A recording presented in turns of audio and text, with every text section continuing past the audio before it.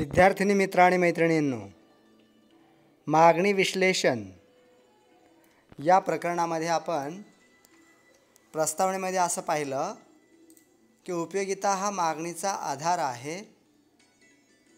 त्याचबरोबर एखाद्या वस्तूची मागणी तेव्हाच केली जाते ज्यावेळेला त्या वस्तूमध्ये उपयोगिते उपभोक्त्याच्या दृष्टीने उपयोगिता असते.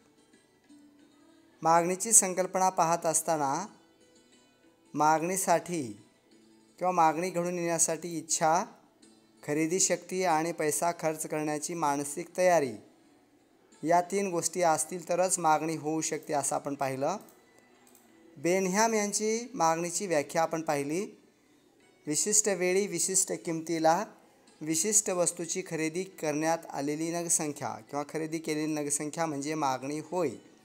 विशिष्ट वेळी विशिष्ट किमतीला विशिष्ट वस्तूची खरेदी केलेली नगसंख्या म्हणजे मागणी होय. या मागणीमध्ये बेनह्याम यांच्या व्याख्येमध्ये चार बाबी आलेल्या आहेत. विशिष्ट वेळ विशिष्ट वस्तू विशिष्ट किंमत आणि नगसंख्या मागणीची वैशिष्ट्ये पाहत असताना मागणी ही सापेक्ष संकल्पना आहे कारण ती व्यक्ती परत्वे स्थल परत्वे काल परत्वे परिस्थिती परत्वे बदलत जाते भिन्न भिन्न असते. मागणी कोष्टक म्हणजे काय? आणि त्याचे दोन प्रकार आपण पाहिले वैयक्तिक मागणी पत्रक आणि बाजाराचे मागणी पत्रक. बाजारात एखाद्या वस्तूच्या विविध किमती असताना एखाद्या व्यक्तीकडून त्या वस्तूची किती मागणी केली जाते हे दर्शवणाऱ्या पत्रकास आपण वैयक्तिक मागणी पत्रक असे म्हणतो. ते वैयक्तिक मागणी पत्रक आणि वैयक्तिक मागणी वक्र या बाबी आपण पाहिल्या. त्यानंतर बाजार मागणी पत्रक म्हणजे काय आणि बाजार मागणी पत्रकाच्या आधारे बाजार मागणी पत्रकाच्या आधारे काढलेला मागणी वक्र आपण पाहिला. विशिष्ट कालावधीत बाजारात एखाद्या वस्तूच्या विविध किमती असताना बाजारात असणाऱ्या सर्व व्यक्तीकडून किंवा उपभोक्त्याकडून जी मागणी केली जाते त्यास बाजार मागणी पत्रक असे म्हणतात. हे ज्या पत्रकात दर्शवले जाते ते बाजार मागणी पत्रक असते. बाजार मागणी पत्रक हे बाजारातील सर्व उपभोक्त्यांच्या संदर्भात असते. वैयक्तिक मागणी पत्रक आणि बाजार मागणी पत्रक त्यांच्या वक्रांचा विचार केल्यानंतर मागणी वक्र ऋणात्मक उताराचा येतो. आणि त्याची कारणे काय आहेत हे आपण पाहिलं. पहिलं कारण आपण पाहिलं घटत्या सीमांत उपयुक्तीचा सिद्धांत. दुसरं कारण आपण पाहिलं उत्पन्न परिणाम किंवा वास्तव उत्पन्न. तिसरं परिणा कारण आपण पाहिलं पर्यायता परिणाम. चौथं कारण आपण पाहिलं विविध उपयोगी वस्तू. आणि पाचवं कारण आपण पाहिलं नवीन उपभोक्ते. आणि आज आपण मागणीचे प्रकार वेगवेगळे मागणीचे प्रकार या ठिकाणी पाहणार आहोत. पहिला प्रकार जो आहे तो आहे प्रत्यक्ष मागणी. पहिला प्रकार आहे प्रत्यक्ष मागणी ज्याला आपण डायरेक्ट डिमांड असं सुद्धा म्हणू शकतो. प्रत्यक्ष मागणी प्रत्यक्ष मागणी काय आहे? प्रत्यक्ष उपभोगासाठी किंवा प्रत्यक्ष वापरासाठी उपभोक्त्याकडून ज्या वस्तू आणि सेवांची मागणी केली जाते उपभोक्त्याकडून ज्या वस्तू आणि सेवांची मागणी केली जाते त्याला आपण प्रत्यक्ष मागणी असे म्हणतो. उपभोक्ता म्हणजे आपण सर्वजण हे उपभोक्ते असतो. तर उपभोक्ता म्हणून आपण ज्या वस्तू आणि सेवांची मागणी करतो ती मागणी ही प्रत्यक्ष मागणी आहे. ज्या वस्तू आपण प्रत्यक्ष उपभोगासाठी वापरतो ती मागणी ही प्रत्यक्ष मागणी असते. गरजांच्या पूर्ततेसाठी आपणाकडून उपभोक्त्यांकडून करण्यात येणारी मागणी ही प्रत्यक्ष मागणी आहे. त्या मागणीला प्रत्यक्ष मागणी असे आपण म्हणू शकतो. उपभोगासाठी करण्यात येणाऱ्या विविध वस्तू आणि सेवांची मागणी ही प्रत्यक्ष मागणी आहे. प्रत्यक्ष मागणी ही उपभोक्त्यांकडूनच केली जाते हे लक्षात घ्यायचं आहे. एक उत्पादक असेल आणि तो वस्तूच्या उत्पादनासाठी मागणी करत असेल तर त्याची मागणी ही प्रत्यक्ष मागणी असणार नाही. एक साधं आणि सोपं उदाहरण आपण या ठिकाणी पाहूयात. समजा की बाजारामध्ये एक्स नावाची व्यक्ती गेलेली आहे आणि एक्सने बाजारातून एक किलो बटाटे खरेदी केलेले आहेत. तर हे जे बटाटे आहेत त्याने उपभोगासाठी किंवा घरात भाजीसाठी खरेदी केलेली आहेत. तर त्याची ही मागणी ही प्रत्यक्ष मागणी आहे. आणि दुसरा जो ए व्यक्ती गेलेला आहे त्याने सुद्धा बटाटे खरेदी केलेले आहेत आणि ते त्याने वडे तयार करण्यासाठी आणि वडे विकण्यासाठी वडे तयार करून ते वडे विकण्यासाठी बटाट्यांची मागणी केलेली आहे किंवा बटाटे खरेदी केलेली आहेत. तर त्याची ही मागणी मात्र अप्रत्यक्ष मागणी आहे प्रत्यक्ष मागणी नाही. म्हणजे ज्याने घरात वापरण्यासाठी बटाट्यांची खरेदी केली ती मागणी ही प्रत्यक्ष मागणी आहे. आणि ज्याने उत्पादनासाठी मागणी केली ती अप्रत्यक्ष मागणी आहे. अप्रत्यक्ष मागणी हा बाजाराचा मागणीचा प्रकार आपण पुढे पाहणारच आहोत. अगदी थोडक्यामध्ये सांगायचं म्हणजे काय? उपभोग्य वस्तूंची मागणी ही प्रत्यक्ष मागणी असते. उपभोग्य वस्तूंची मागणी ही प्रत्यक्ष मागणी असते. उदाहरणार्थ आपण कोणत्या कोणत्या वस्तूंची मागणी करतो? तर आपण टी व्ही फ्रीज कपड्यांची मागणी भाजीपाला मागणी फळे अशा विविध वस्तूंची जी काय आपण मागणी करतो ती प्रत्यक्ष मागणी असते. किंवा विद्यार्थ्यांकडून तुमच्याकडून करण्यात येणारी नोटबुकची मागणी पेनची मागणी किंवा कंपॉसची मागणी पाऊचची मागणी ह्या सगळ्या मागणीला आपण प्रत्यक्ष मागणी असे म्हणतो. कारण ही आपण उपभोगासाठी स्वतःच्या वापरासाठी या वस्तू आणि सेवांची मागणी करत असतो. दुसरा प्रकार आहे अप्रत्यक्ष मागणी किंवा त्यालाच आपण परोक्ष मागणी असे म्हणतो. अप्रत्यक्ष मागणीलाच परोक्ष मागणी असे सुद्धा म्हटले जाते. अप्रत्यक्ष मागणी ही परोक्ष मागणी असते.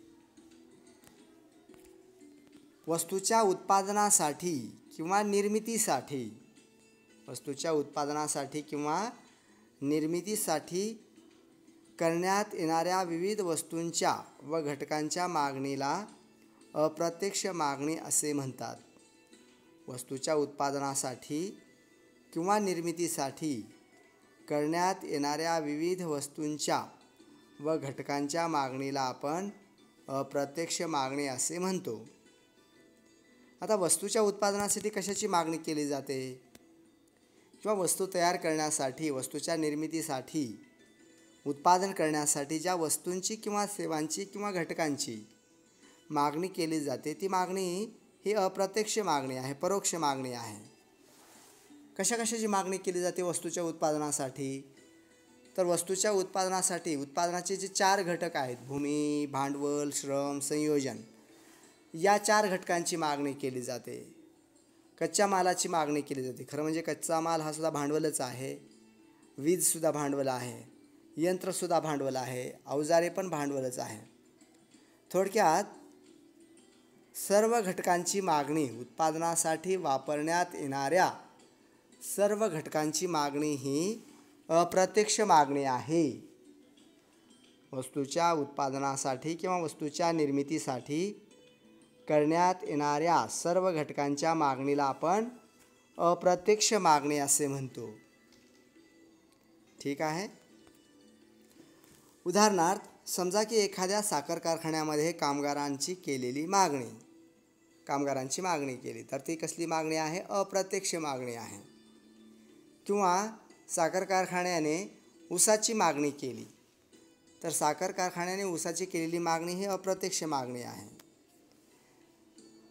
कापड कारखान्याने कापसाची केलेली मागणी ही अप्रत्यक्ष मागणी आहे. किंवा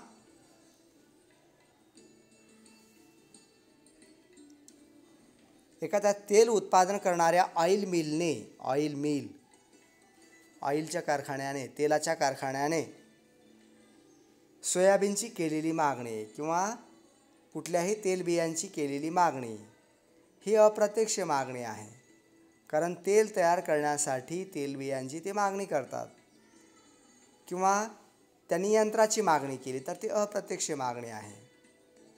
अगदी सोपं सांगायचं झालं तर आपण जे सुरुवातीला उदाहरण घेतलं बटाट्यांचं. आपण केलेली बटाट्यांची मागणी ही अप्रत्यक्ष मागणी आहे कारण ती उपभोगासाठी आपण करतो.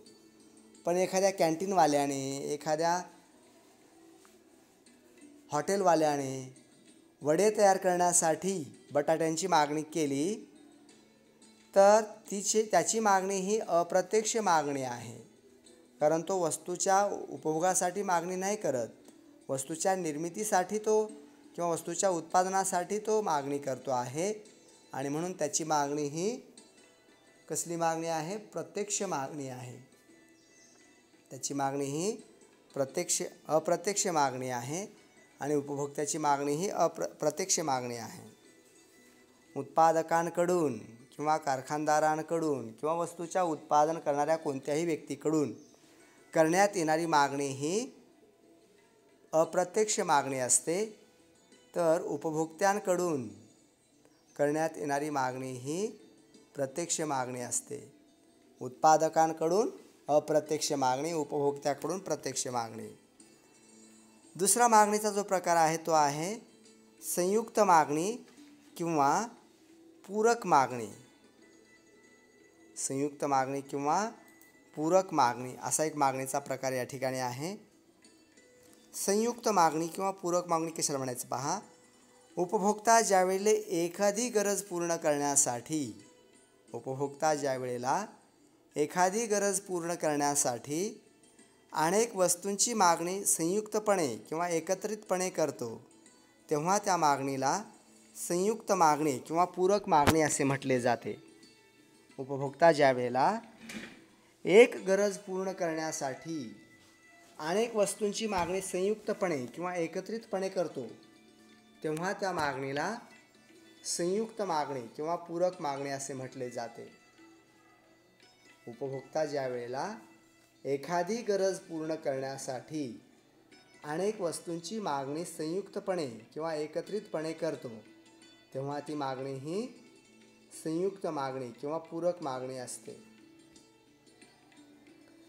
या मागणीमध्ये एखाद्या वस्तूची मागणी इतर कोणत्याही वस्तूबरोबर केली जाते तेव्हा त्यास पूरक मागणी असे म्हणतात. उपभोक्ता ज्यावेळेला एखादी गरज पूर्ण करण्यासाठी अनेक वस्तूंची मागणी एकत्रितपणे संयुक्तपणे करतो तेव्हा ती मागणी ही संयुक्त मागणी असते संयुक्तपणे करते. म्हणून ती पूरक आहे. वस्तू एकमेकाला पूरक असतील अशा पूरक वस्तूंची एकमेकांना जोडून ज्या वस्तू आपण मागणी करतो त्या वस्तूंची मागणी ही संयुक्त मागणी किंवा पूरक मागणी असते. उदाहरणार्थ आपल्याला चहा पिणे ही आपली एक गरज आहे. तर ती एक गरज पूर्ण करण्यासाठी ज्यावेळेला आपण दोन तीन वस्तूंची मागणी करतो ती संयुक्त मागणी असते. संयुक्तपणे मागणी करावी लागते. केवळ चहा पावडर घेऊन आपली चहा पिणे ही गरज पूर्ण होणार नाही. त्यामुळे चहा पावडर त्याचबरोबर साखर दूध आले वेलची या सर्व वस्तूंची एकत्रित मागणी करावी लागते तेव्हाच आपली चहा पिणे ही जी गरज आहे ती पूर्ण होऊ शकते. म्हणून अशा मागणीला आपण संयुक्त मागणी असे म्हणतो. त्या ठिकाणी एकच वस्तू खरेदी करून चालत नाही तर अनेक वस्तू संयुक्तपणे खरेदी कराव्या लागतात अनेक वस्तू संयुक्तपणे मागणी कराव्या लागतात. म्हणून ती संयुक्त मागणी आहे पूरक मागणी आहे. त्या वस्तू एकमेकांना पूरक असतात एकमेकांशी निगडीत असतात. म्हणून ती मागणी ही पूरक मागणी आहे संयुक्त मागणी आहे. या मागणीमध्ये एखाद्या वस्तूची मागणी इतर कोणत्याही वस्तूबरोबर केली जाते तेव्हा त्यास पूरक मागणी असे म्हणतात. एखाद्या वस्तूची मागणी इतर कोणत्याही वस्तूबरोबर केली जाते तेव्हा त्यास पूरक मागणी असे म्हटले जाते. अर्थात गरज एक एकच गरज असते आणि ती एक गरज पूर्ण करण्यासाठी एकापेक्षा अधिक वस्तूंची मागणी करावी लागते. ती मागणी ही पूरक मागणी किंवा संयुक्त मागणी असते. उदाहरणार्थ आपण चहा पिणे ही गरज पूर्ण करण्यासाठी दूध साखर चहा पावडर वेलची आले या वस्तूंची मागणी करतो. त्याचबरोबर लिहिणे काहीतरी आपणा लिहायचं आहे नोट्स लिहायचे आहेत वगैरे ही एक गरज आहे. आणि ती गरज पूर्ण करण्यासाठी आपल्याला पेन शाई कागद नोटबुक या दोन तीन वस्तूंची मागणी करावी लागते. याला आपण संयुक्त मागणी किंवा पूरक मागणी असे म्हणतो. त्याचबरोबर आपल्याला फक्त गाडी घेऊन चालत नाही तर त्याबरोबर पेट्रोलसुद्धा घ्यावे लागते. म्हणून गाडी आणि पेट्रोल या वस्तूंची एकत्रित केलेली मागणी ही संयुक्त मागणी आहे. तर या ठिकाणी संयुक्त मागणी म्हणजे काय आपण पाहिलेलं आहे? यातला पुढचा प्रकार आहे संमिश्र मागणी. संमिश्र मागणी म्हणजे काय आहे पहा. ज्यावेळेला अनेक गरजा पूर्ण करण्यासाठी उपभोक्ता एकाच वस्तूची मागणी करतो काळजीपूर्वक ऐका. ज्यावेळेला अनेक गरजा पूर्ण करण्यासाठी उपभोक्ता एकाच वस्तूची मागणी करतो त्यावेळेला त्याला संमिश्र मागणी असे म्हटले जाते. अनेक गरजा आहेत व्यक्तीच्या. आणि त्या अनेक गरजा पूर्ण करण्यासाठी त्याला एकाच वस्तूची मागणी करावी लागते किंवा एकच वस्तू तो घेतो आणि त्या एकाच वस्तूच्या माध्यमातून तो अनेक गरजा पूर्ण करतो. त्यावेळेला त्या वस्तूची मागणी ही संमिश्र मागणी आहे असे म्हटले जाते. अर्थात एका वस्तूची मागणी ही अनेक उपभोगासाठी केली जाते त्या संयुक्त मागणी असे म्हटले जाते. मागणी करण्यात आलेल्या वस्तूच्या एखाद्या वस्तूचा वापर तो अनेक गरजांच्या पूर्ततेसाठी करू शकतो किंवा करता येतो. तेव्हा त्या मागणीला आपण संयुक्त मागणी असे म्हणतात. उदाहरणार्थ विजेची मागणी ही ज्यावेळेला आपण करतो त्यावेळेला तिचा वापर दिवे लावणे पंखा चालवणे धुलाई यंत्र चालवणे फ्रीज चालवणे टी व्ही चालवणे अशा अनेक गरजांच्या पूर्तीसाठी केला जातो. आणि त्यामुळे त्याची मागणी ही संमिश्र मागणी आहे. संमिश्र मागणीतील वस्तू ही अनेक गरजांच्या पूर्ततेसाठी वापरली जात असल्यामुळे ती विविध उपयोगी वस्तू ठरते किंवा अनेक उपयोगी वस्तू ठरते. पुढचा प्रकार जो आहे तो स्पर्धात्मक मागणी. पाचवा प्रकार जो आहे तो आहे स्पर्धात्मक मागणी. स्पर्धात्मक मागणी म्हणजे अशा वस्तूंची मागणी ज्या एकमेकांना पर्यायी असतात. म्हणजे ही वस्तू घेतली तरी चालेल किंवा ती वस्तू घेतली तरी चालेल. त्या दोन वस्तूंच्या खरेदीच्या बाबत स्पर्धा असते. तेव्हा त्याला आपण स्पर्धात्मक मागणी असे म्हणतो. ज्यावेळेला दोन वस्तूंच्या खरेदीबाबत स्पर्धा आढळून येते. स्पर्धा असते. त्यावेळेला आपण त्या स्पर्धात्मक मागणी असे म्हणतो. आणि दोन पर्यायी वस्तूंची मागणी ही स्पर्धात्मक मागणी असते. अनेक वस्तू एकमेकांना पर्याय असतात. आणि अशा पर्यायी वस्तूंच्या बाबतच्या मागणीला आपण स्पर्धात्मक मागणी असे म्हणतो. ही वस्तू घेतली तरी चालेल किंवा ही वस्तू घेतली तरी चालेल. असा असे ज्या त्याला आपण स्पर्धात्मक मागणी आहे असे म्हणू शकतो. थोडक्यात पर्यायी वस्तूच्या बाबतच्या मागणीला आपण स्पर्धात्मक मागणी असे म्हटले जाते. व्यवहारात अनेक वस्तू एकमेकांना पर्यायी असतात. अशा वस्तूच्या किमतीतील बदलांचा परिणाम एकमेकांच्या मागणीवरती होत असतो. उदाहरण घेऊया आपण. चहा आणि कॉफी या एकमेकाला पर्यायी वस्तू आहेत. आपण चहा पण घेऊ शकतो कॉफी पण घेऊ शकतो. तर चहा आणि कॉफी या पर्यायी वस्तू आहेत किंवा गूळ आणि साखर हे पर्यायी वस्तू आहेत. तर एकमेकांच्या बाबत ज्यावेळेला चहाच्या किमतीमध्ये वाढ होते त्यावेळेला ग्राहक कॉफीची मागणी करतात. म्हणजे चहा आणि कॉफी यांची मागणी ही स्पर्धात्मक मागणी झाली अशा पद्धतीने. ज्यावेळेला साखरेची किंमत वाढते त्यावेळेला ग्राहक गुळाची मागणी करतात. अशा पद्धतीने अशा पर्यायी वस्तूच्या बाबतच्या मागणीला आपण स्पर्धात्मक मागणी असे म्हटलेले आहे. या वस्तूच्या किमतीतील बदलामुळे मागणीत जणू काही स्पर्धाच त्या वस्तूमध्ये आहे असे वाटते. तर विद्यार्थिनी मित्र आणि मैत्रिणींनो या ठिकाणी आपण मागणीच्या बाबत पाच प्रकार आपण पाहिलेले आहेत. पहिला प्रकार आपण पाहिला प्रत्यक्ष मागणी दुसरा प्रकार आपण पाहिला अप्रत्यक्ष मागणी तिसरा प्रकार आपण पाहिला संयुक्त मागणी किंवा पूरक मागणी. आणि चौथा प्रकार आपण पाहिला संमिश्र मागणी. पाचवा प्रकार आपण पाहिला स्पर्धात्मक मागणी. प्रत्यक्ष मागणी अप्रत्यक्ष मागणी संयुक्त मागणी संमिश्र मागणी आणि स्पर्धात्मक मागणी. तर मागणीचे हे पाच प्रकार या ठिकाणी आपण पाहिलेले आहेत. या पाच प्रकारानंतर आपण पुढे पुढील तासामध्ये मागणीचे निर्धारक घटक अभ्यासणार आहोत. तर या ठिकाणी आपण थांबूया. धन्यवाद.